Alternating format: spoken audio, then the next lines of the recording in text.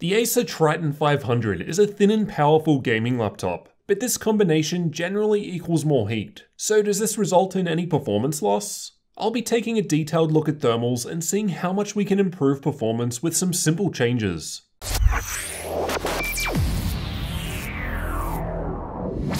Let's start out with the specs I've got in my unit. There's an Intel i7-8750H CPU, Nvidia RTX 2060 graphics, and 16GB of memory running in dual channel, so expect different results with different specs. You can find examples of other configurations as well as updated prices linked in the description. On the bottom of the laptop, we've got some air vents towards the back, while the rubber feet lifted up a bit to assist with airflow. Air is exhausted out of the back left and right corners and from the vents on the left and right sides towards the back. There's also some ventilation holes above the keyboard. I wasn't able to get a quick look at the heat pipes, as the motherboard is upside down in this model so it would require further disassembly to access. The Triton 500 uses Acer's Predator Sense software to control performance of the machine. We can control fan speed and swap between three overclocking profiles, normal, fast and extreme. I'll be considering normal the stock setting, I didn't find fast to do anything, while extreme boosted the power limit of the GPU from 80 to 90 watts.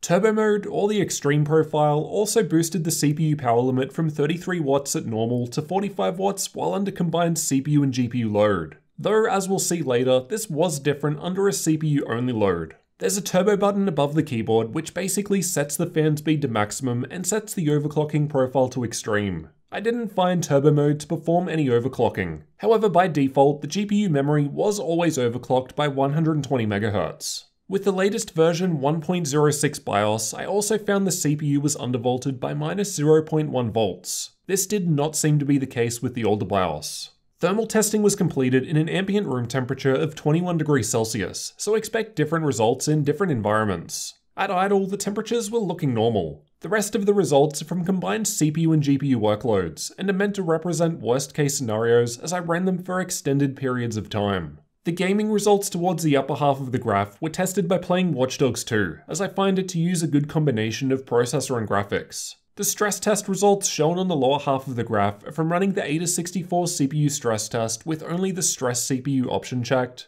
and the Heaven GPU benchmark at max settings at the same time to fully load the system. Let's start with the stress test results. In normal mode, the temperatures are looking alright. No thermal throttling at least, just power limit throttling. As turbo mode raises the CPU power limit, we're seeing a hotter CPU, though the GPU actually lowers slightly as a result of the higher fan speed introduced by this mode, despite the GPU also seeing a power limit boost. My additional undervolt on the CPU didn't change the temperature, but we'll see how this affected performance in the next graph. Keep in mind that with the latest BIOS at the time of testing, the CPU was already undervolted by minus 0.1 volts. So I'm not actually changing it by too much more here. By adding the cooling pad, the CPU temperature dropped by 7 degrees while the GPU dropped by 4. The gaming results didn't see much differences. Basically, the temperatures of the CPU drops down as we make these same changes, with not much difference to the GPU temperature in this particular game. These are the average clock speeds for the same tests just shown. We can see an improvement to average clock speed of both the CPU and GPU with turbo mode enabled while under stress test due to the power limit increase.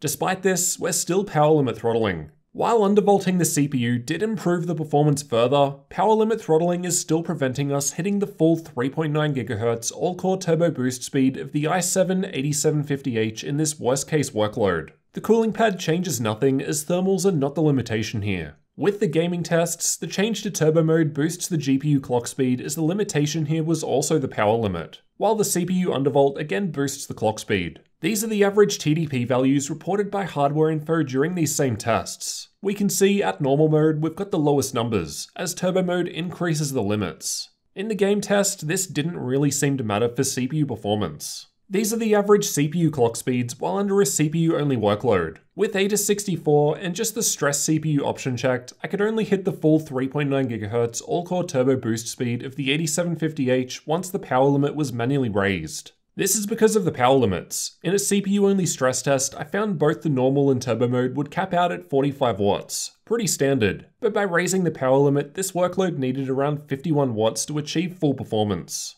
It's worth noting that I couldn't raise the power limit with Intel XTU for combined CPU and GPU loads that we saw before, only for CPU only load. Raising the power limit does result in increased temperatures, as more power equals more heat. Though these were also lowered in turbo mode due to the increased fan speed, and the additional undervolting at the bottom helped improve this further. To demonstrate how this translates into performance, I've got some Cinebench CPU benchmarks. The results with turbo mode, which again is undervolted by default, and with my extra undervolt are honestly quite low, again due to the power limitations. As boosting the power limit did affect CPU only performance, this was the best way to further increase performance. As for the external temperatures where you'll actually be putting your hands, at idle it was around the normal 30 degrees Celsius. While under combined CPU and GPU stress test, in normal mode, it gets to the mid 40s at the hottest points. Then while gaming with turbo mode enabled, it's perhaps just a little warmer in the center towards the back. The keys were warm to the touch, but I didn't think they were hot.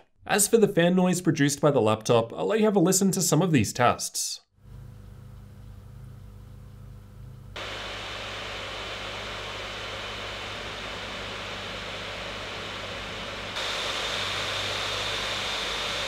At idle, it was completely silent, no fans at all. Whether gaming or under stress test, with the fan at default, it got to the same volume, so you've got the option of running it quieter for a bit less performance.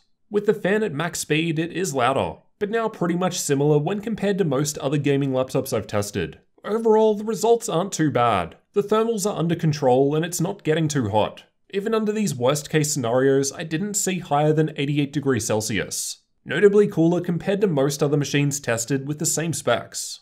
This seems to be due to the power limits in place on the CPU though, and while this does prevent higher clock speeds, the clock speeds that we are getting in these tests aren't bad at all, just a couple hundred megahertz behind the max possible boost clock, at least in these specific workloads that I always test. There are plenty of people who prefer this sort of limitation over a hotter machine, so I think it's a fair compromise. Many 2060 laptops don't have the option of boosting the power limit from 80 watts either, so that was a nice addition, which as we've seen does directly result in better game performance. If you're on an older BIOS, you'll definitely want to consider upgrading for the default undervolt on the CPU. Without this, I'd expect worse performance due to those power limitations. These differences in performance shown aren't hard and fast rules. There are different factors which will vary results. Primarily the temperature of the room you're running in, application of thermal paste, and even the specific hardware, which comes down to the silicon lottery. You may not be able to undervolt or overclock your hardware the same as me. It depends on the chip and its specific power requirements, so don't just blindly copy my settings and do some testing to find out where your stable point is for best results. It may be possible to further improve temperatures by swapping the thermal paste. However, with review units that get sent back, I'm not able to change the paste. Otherwise, the next reviewer will unknowingly report different results due to what I've done. Undervolting or using a cooling pad are much easier for most people to do than changing paste anyway. And as we've seen, these tweaks did help improve performance and temperatures with the Triton 500. Let me know what you thought about the thermals from the Acer Triton 500 gaming laptop down in the comments. Would you prefer higher temperatures but also higher power limits and performance, or do you think the trade-off is worth it for a cooler machine? If you're new to the channel, you'll definitely want to get subscribed for the upcoming full review of the Acer Triton 500.